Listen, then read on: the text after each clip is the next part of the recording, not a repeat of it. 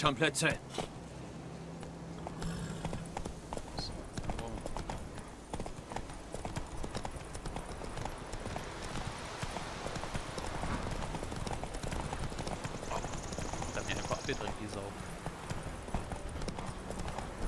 Der Krieg läuft nicht gerade zu unserem Vorteil. Haben wir denn eine Seite? Die nördlichen Königreiche. Radowitzreich meinst du? Temerien und Edirn gibt es nicht mehr. Radowid hat versprochen, die alten Grenzen wiederherzustellen, sobald er den Krieg gewonnen hat. Und das glaubst du? Irgendwas muss man glauben. Das hält einen aufrecht. Das sagen die Könige doch wohl immer. Halt! Was will er denn? Okay.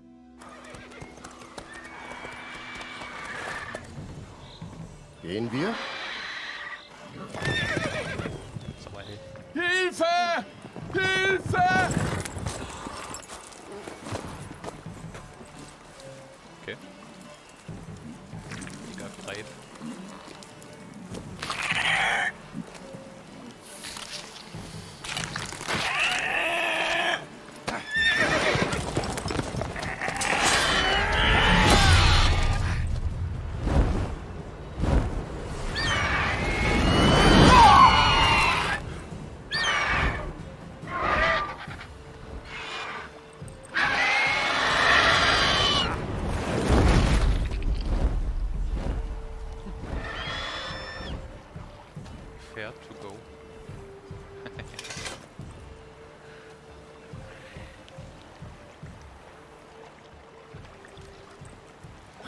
Ist er weg?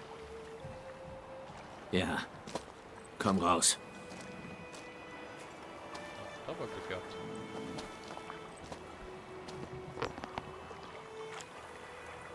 Gott, das war knapp. Ich dachte schon, ich ende wie mein Pferd. Wenn du Glück gehabt hättest. Dein Pferd ist sofort gestorben. Aber Greife spielen gerne mit ihrer Beute. Fressen sie bei lebendigem Leibe auf. Aha. Nette Information. Ihr wollt wohl eine Belohnung haben, nehme ich an. Tja, Hexer arbeiten ja eigentlich nicht umsonst, ne? Aber er hat uns ja auch nicht angeheuert rein. Theoretisch, wir haben ja keinen Preis ausgemacht. Du schuldest uns nichts. Du warst in Not, wir haben geholfen. Und Ja, da heißt sorry, es, Leute. Hexer wären herzlos und dass sie ohne Bezahlung keinen Fingerkron machen. Es heißt auch, Mäuse entstünden aus faulendem Stroh. Zurück zur Spur? Wie gesagt, die führt zur Hauptstraße und endet dort. Sie ist verwischt. Sucht ihr jemanden? Ja, eine Frau, mittelgroß, lange schwarze Haare. Hast du so jemanden gesehen? Nein, aber hier in Weißgarten gibt es eine Herberge, die einzige weit und breit. Da kommen viele Reisende durch. Vielleicht erfahrt ihr etwas. Außerdem, äh, die Wirtin ist meine Cousine. Sagt ihr, dass Bram euch schickt. Sie wird euch wie ein Familienmitglied behandeln. Ja, schön. Keine schlechte Idee. Zumal diese Wunde gereinigt werden muss. Pah, kaum ein Kratzer. Aber ein Schnaps wäre jetzt recht. Schön kühl. Direkt aus dem Keller. Gehen wir.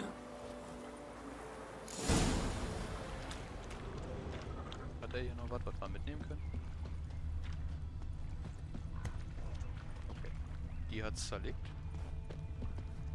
Und den hoch. Ja. Nicht weiter.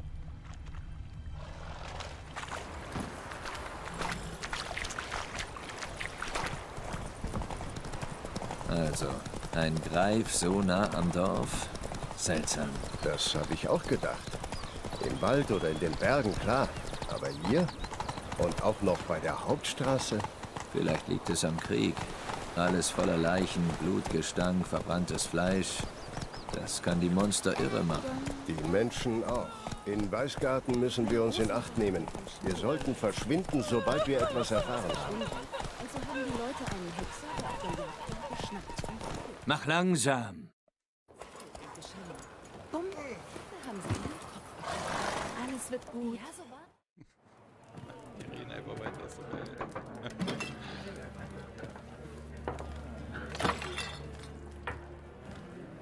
Läuft bei ihm.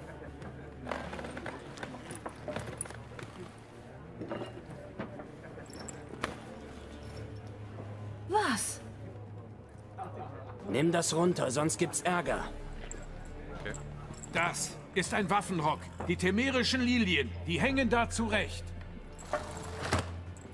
Du bist nicht mehr in Temerien, Alter, sondern in Nilfgaard. Du kannst mich mal.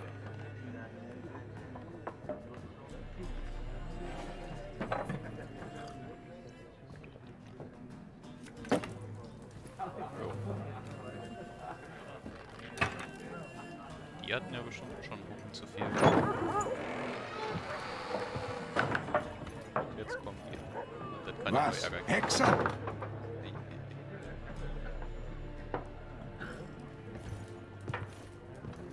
Mit solchen Ungeziefermutanten trinke ich nicht. Dann haut er ab. Tut mir leid wegen dieser Gauner. Macht nichts. Das sind wir gewöhnt. Die Leute sind recht nervös hier. Armeen sind durchgezogen. Jetzt treibt sich ein Greif hier rum. Mal sehen. Wir hatten schon das Vergnügen. Er hat deinen Verwandten Bram angegriffen. Bram? Wie geht es ihm? Er lebt. Lässt dich grüßen. Werte Hexer, Essen und Trinken gehen aufs Haus. Was kann ich euch bringen? Tippitopp.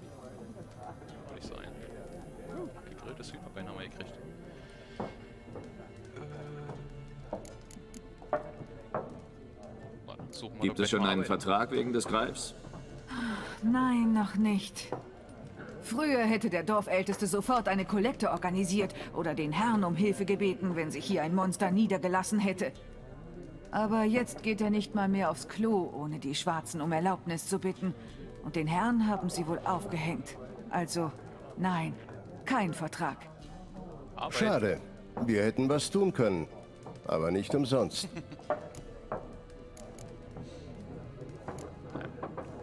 Hier ist ja richtig was los. Das ganze Land ist unterwegs. Suchen nach Verwandten oder nach Schutz vor den Armeen. Essen, Trinken und ein warmes Nachtlager brauchen sie alle. Dann ist der Krieg bisher gut für dein Geschäft? Bisher schon. Frieden wäre mir trotzdem lieber. In diesen Zeiten weiß man nie, was einen am nächsten Tag erwartet. Zeig mal, was du so hinter dem Tresen hast. Okay. Kann man auch anders verstehen. So, was hat sie denn hier? Ah, Gewinnkarten. Guck an. Können wir uns die leisten? Bräuchte noch ein bisschen was zu essen eigentlich. Boah, das können wir uns alle nicht leisten gerade. Wir müssen erstmal Geld verdienen.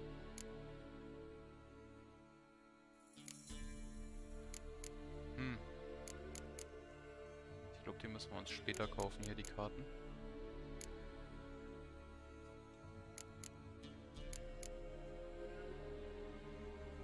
Ich glaube, Alkohol könnten, sollten wir nicht kaufen.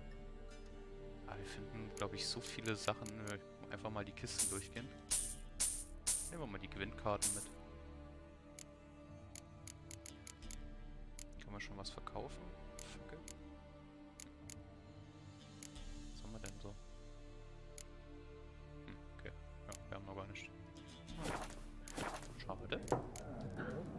Wir suchen eine Frau. Schwarze Haare, veilchenblaue Augen, schwarz-weiß gekleidet. Kam aus Richtung Weidendorf geritten. Und äh, es mag seltsam klingen, aber sie riecht nach Flieder und Stachelbeere. So eine Frau habe ich weder gesehen noch gerochen. Ich würde mich wohl erinnern. Ja, es ist schwierig, sie zu vergessen. Aber hier sind viele Reisende von überall her. Vielleicht lohnt es sich, nach ihr zu fragen. Richtig gut. Danke. Für alles. Es ist schwer, sie zu vergessen, ja. Richtig gut.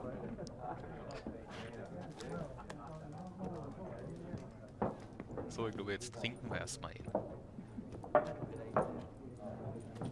Soll ich dir beim Verbinden helfen? Bitte. So taterig bin ich noch nicht. Dann frage ich nach Jennifer. Aber denk dran, besser keine Aufmerksamkeit erregen. Das haben wir doch schon.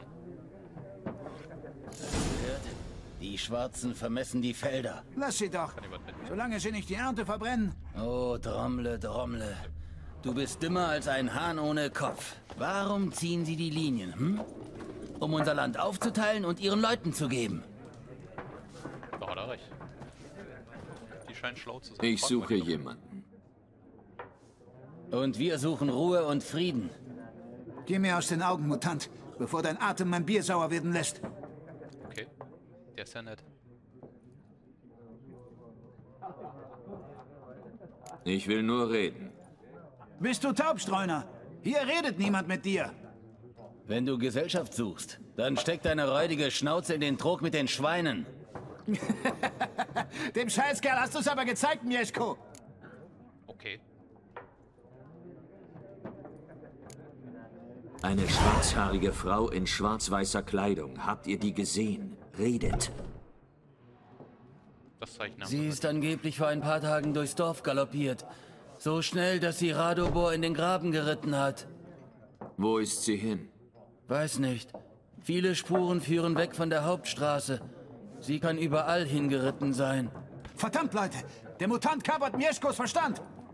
Mhm. Und deine Zunge nehme ich auch gleich, wenn du nicht still bist. Ach, guck mal.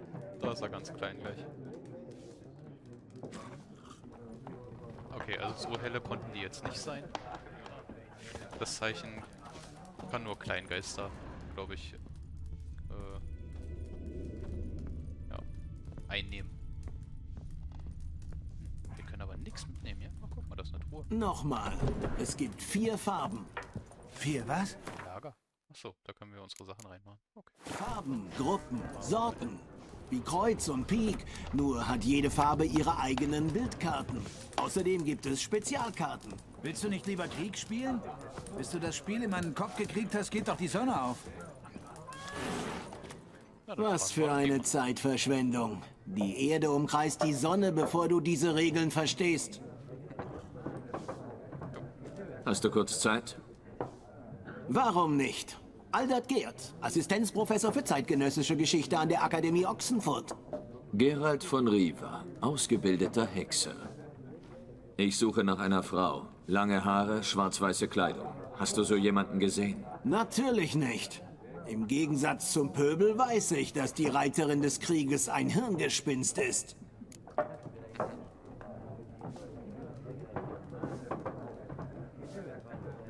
Reiterin des Krieges? Worum geht es da? Um ein Omen, sagen die Leute. Eine schöne Phantomfrau reitet nachts durch die Felder. Sie entspricht deiner Beschreibung. Armeen folgen ihr und ihren Weg zu kreuzen bedeutet Unglück. Den letzten Teil kann ich bestätigen. Weißt du, wo sie gesehen wurde? Nein, ich interessiere mich für Tatsachen, nicht für Märchen. will dir mal alle von ihr nicht versprechen, ey, das ist so geil. Hier würde ich keinen Gelehrten erwarten. Du fliehst wohl vor dem Krieg. Ganz im Gegenteil. Ich bin hinter ihm her. Ich will zur Front. Das ist ja Lebensmüde. Ich suche Wissen. Das ist mir wichtiger als das Leben selbst. Diesen Durst kann kein verstaubter alter Foliant stillen. Ich will die Invasion Nilfgaards mit eigenen Augen sehen, sie verstehen und in meiner Chronik aufzeichnen, meinem Hauptwerk.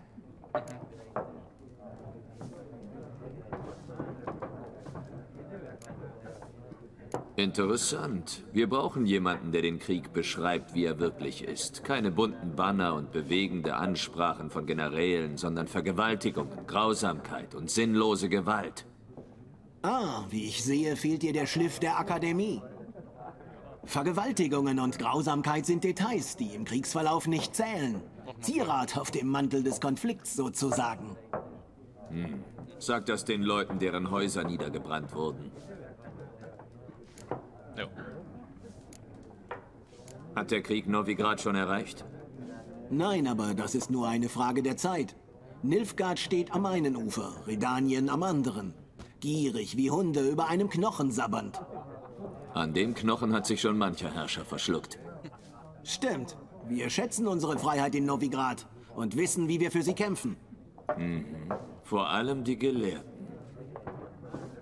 Das Schwert ist nicht die einzige Waffe.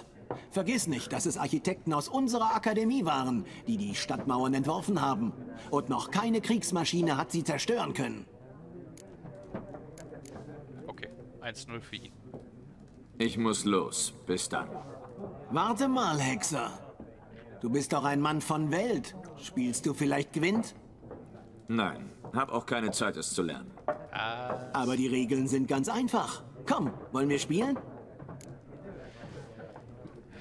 Hm, warum nicht? Na, komm, Wunderbar. Also, es funktioniert so. Ich mag Wind. Was haben wir denn hier? Äh, Was brauchen wir?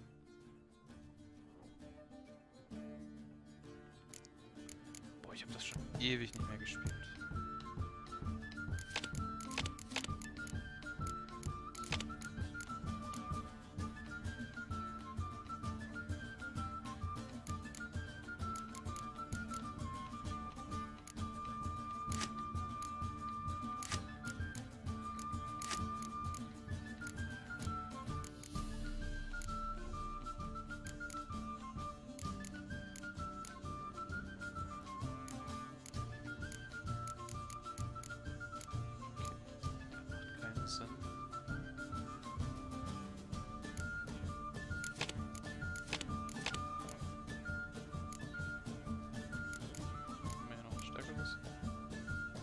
Ja, Prinzip. Ah, nice. Gut, ist ja unser erster hier. Unser erstes Spiel. So stark wird er ja nie sein.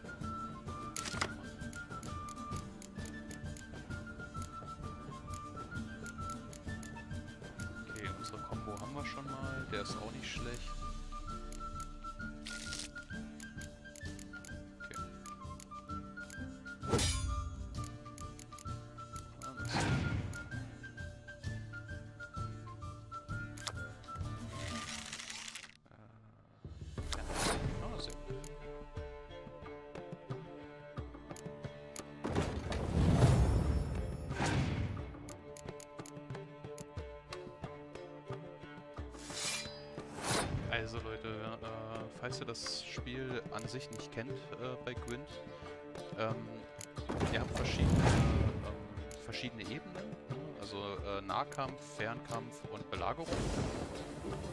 Und dann hier äh, quasi verschiedene äh, Karten, die die Zonen quasi beeinflussen. Also der hat ja jetzt hier meine Einheiten äh, quasi geschwächt. Und äh, mit dieser Karte könnte ich jetzt zum Beispiel das wieder aufheben. Schönes Wetter. Dann hat meine wieder 7. Ziel ist es quasi ähm, zwei Runden lang die höchste Punktzahl zu haben. ne? Er hat ja, ihr seht ja da jetzt, 9 quasi, ne? also alle Punkte da werden zusammengezählt und bestimmte Karten haben halt einen Effekt. Ne? Die hier zum Beispiel, äh, wenn ich, wenn ich zwei mit demselben Namen habe, also blaue Streife, dann verdoppelt sich die Stärke von beiden.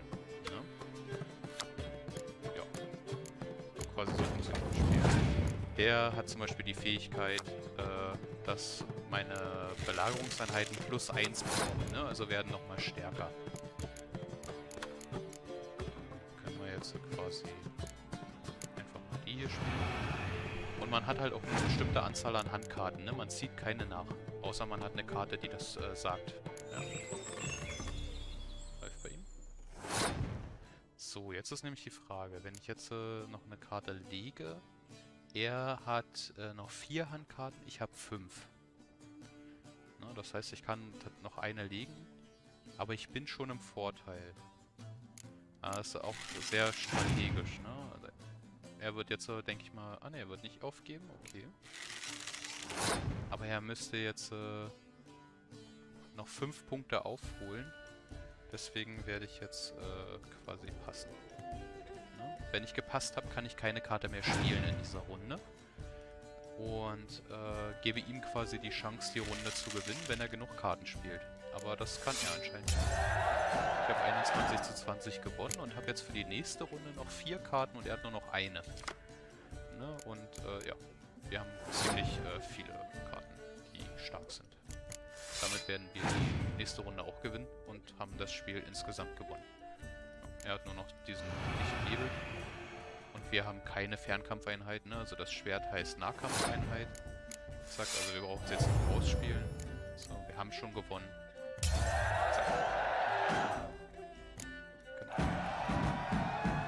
Sieh an, du hast ein Händchen für dieses Spiel. Wenn du mal in Ochsenfurt bist und gegen einen echten Meister spielen willst, frag nach Stjepan. Er ist ein schlichter Tavernenwirt, aber Gewinn spielt er wie kein zweiter. Ich denke dran. Danke. Und äh, wenn man die Spiele gewinnt, ähm, kriegt man tatsächlich eigentlich immer eine Karte.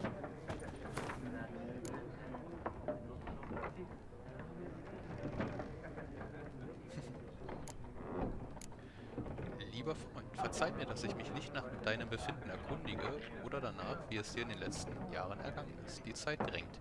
Ich habe wichtige Neuigkeiten. Wir müssen uns bald wie möglich treffen. Reite nach Weidendorf bei Lysima und schone das Pferd nicht. Ich erwarte unser Wiedersehen zwar mit Ungeduld, doch kann ich nicht lange warten, weder ungeduldig äh, noch sonst wie. Deine liebe Freundin, Jennifer.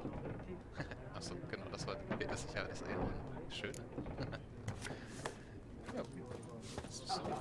Wir gewusst. Die sind schon gegangen hier. Hm, Wir können immer noch nichts mitnehmen. Aha, okay. Ich suche eine Frau. Wie jeder. Nicht wie jeder und nicht irgendeine Frau. Meine riecht nach Flieder und Stachelbeeren und ist schwarz-weiß gekleidet. Zwei Schnäpse. Der wird deine Stimmung heben. Äh,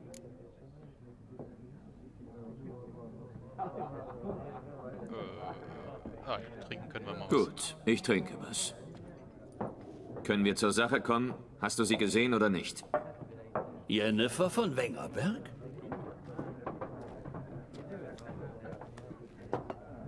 Also er kennt schon mal ihren Namen. Ihren Namen habe ich nicht gesagt. Aber du hast sie perfekt beschrieben. Und was ich mal gehört habe, vergesse ich nie mehr. Kann nichts dafür.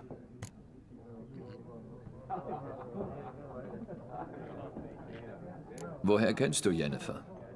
Welch eine Frage. Aus Meister Rittersporns Balladen natürlich. Andere Möglichkeiten hat ein bescheidener Kaufmann nicht, mit wahrer Größe in Berührung zu kommen.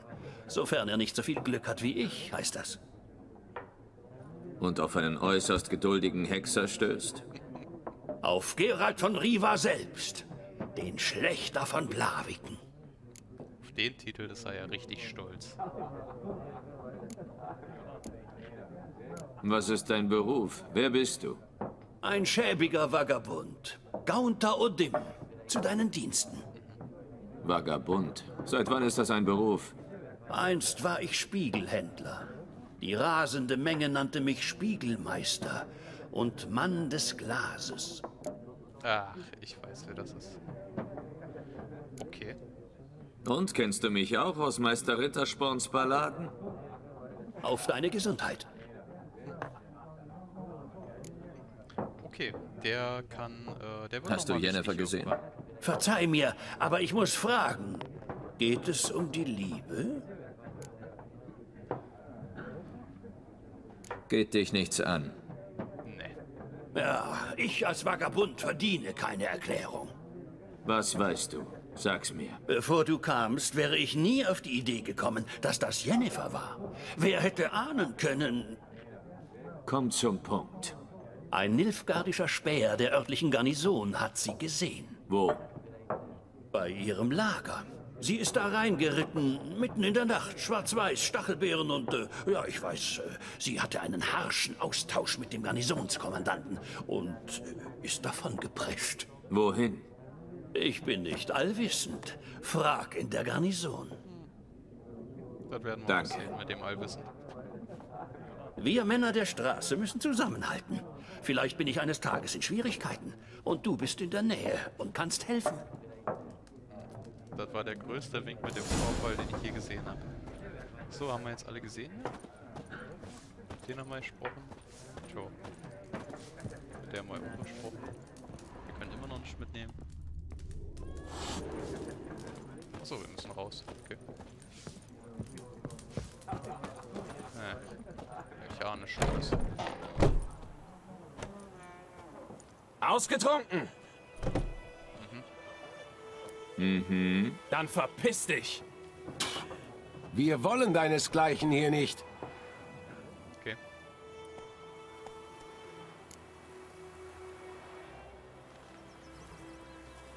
Drei gegen einen.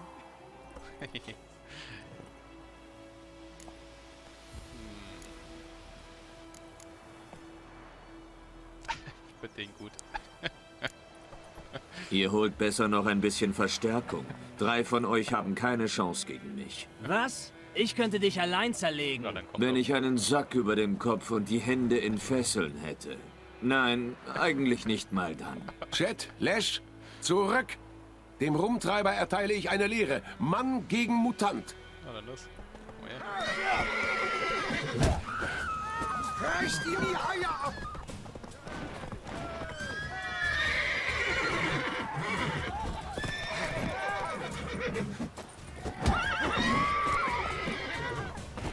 Hat's wehgetan? Dann ist ja gut.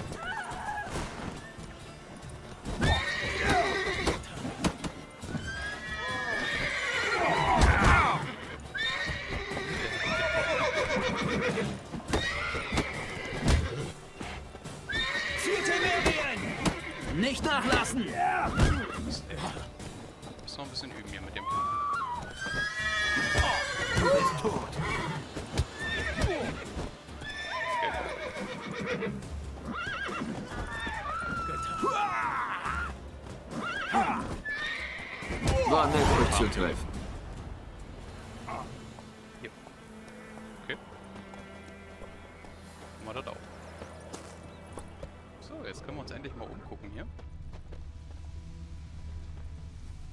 Großmutter hat mir vom Schmiedejungen erzählt. Er war eines Tages verschwunden. Also haben die Leute einen Hexer, der auf der Jagd Schau mich nicht so an! Ja nicht. Er hat gezappelt rumgeflogen. Bumm, da haben sie ihn. Ja, so war's. Nur war es so ein Ertrunkener, der den Jungen entführt hat. Der Hexer hatte damit nichts zu tun. Was haben die Leute getan? Sie konnten den Kopf hier schlecht wieder annähen. Haben sie ihn. Soll ich das Wasser schöpfen oder nicht? Wir müssen unsere Suppe Was wäre das? Aber Tosley sagt, er würde nicht mal seinem Oh, Hund das wir. Wasser geben. Da treffen wir uns wieder. Danke für die Rettung. Die Leute sagen ja alles Mögliche über Hexer, aber ich fand diese Gilde immer ehrenhaft. Hätte ich jetzt. Deine Waren hast du noch, wie ich sehe. Mein Wagen ist noch nicht repariert. Die Zeit vergeht. Meine Verluste wachsen. Brauchst du was? Ich gebe es dir für die Hälfte. Das ist aber nett. Lass mich einen Blick auf deine Waren werfen. Vielleicht kriegen wir noch mal ein paar Gewinnkarten. Okay, nee, doch nicht. Ui, chimärische Rüstung. Hm. Okay, 35 Meeres. Ui. Wir haben nicht mal annähernd so viel Gold. Ich glaube, da müssen wir erstmal arbeiten gehen. äh, ja. Was ist denn das da? Greifenabsud. Okay, schön. Ich glaube, das können wir noch gebrauchen. Ja. Okay. Pass auf dich auf.